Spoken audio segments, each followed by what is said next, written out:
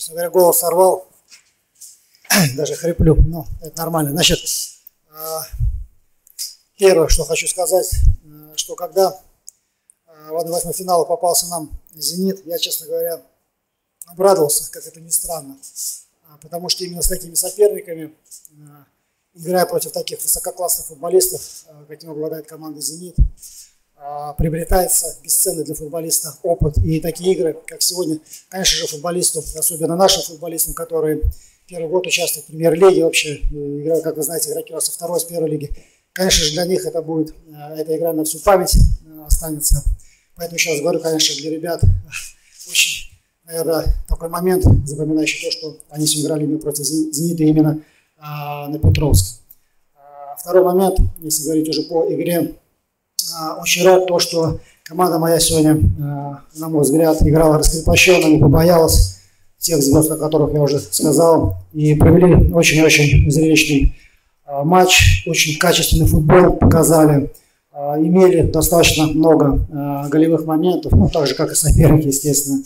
Считаю, что, может быть, в какой-то степени, конечно, нам повезло, потому что, учитывая, что мы проиграли со счетом 2-0, в принципе, на мой взгляд, Зенит должен был довести победу до логического завершения. Но рад то, что мои ребята после пропущенных двух голов не опустили руки, а проявили характер, самоотверженность, проявили бойцовские качества и, как я уже сказал, показали футбол, не боялись этого грозного соперника.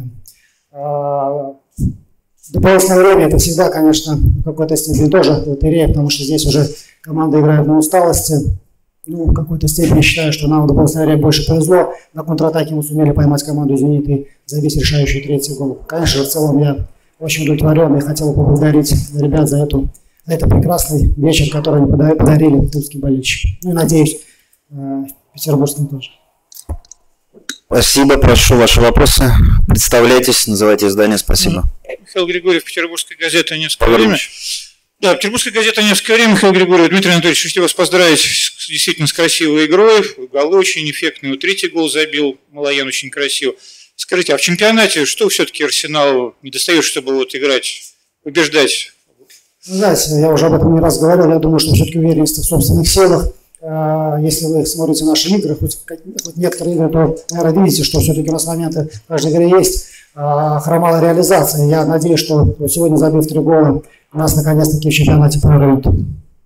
Следующий вопрос. Эрнест Наумович.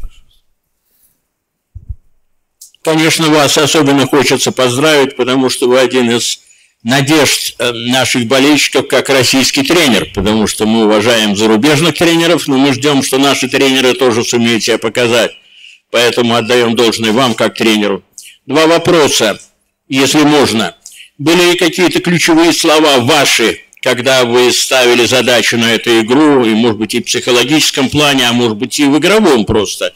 И второе, может быть, это некое повторение – и все-таки вот этот матч в значительной степени поможет вашей команде играть в дальнейшем, прежде всего, в чемпионате России? Начну со второго.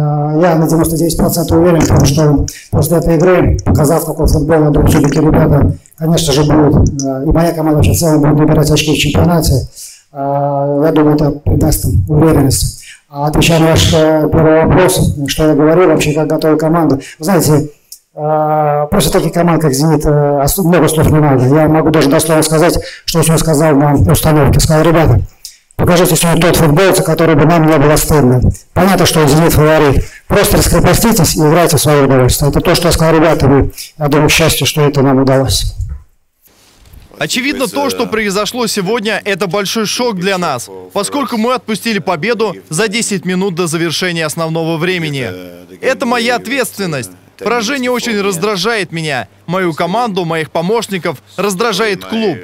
Мы имели все для того, чтобы пройти дальше, но пару ошибок привело к такому результату, что мы потеряли контроль, а игроки Арсенала сработали очень хорошо. По ходу встречи оба соперника имели шансы, и мы могли сделать счет 3-1, но не воспользовались моментом. Конечно, такое не должно происходить. Я очень разочарован. И это моя ответственность, моя ошибка и разочарование.